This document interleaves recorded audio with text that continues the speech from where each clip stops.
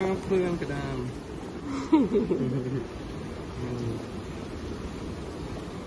នេះសកម្មភាពអ្នកចាប់ផ្ដើមកាលពីមុនខ្ញុំចាប់ក្តាមមិនបានសោះតែឥឡូវបានហើយព្រោះខ្ញុំប្រឹងលោតហក់មុតដៃមុតជើងឲ្យណាមុតទាំងអស់